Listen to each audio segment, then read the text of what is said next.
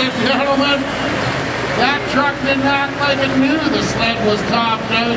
He's just sitting there with the buzzing half dozen, pinned right to the floor. He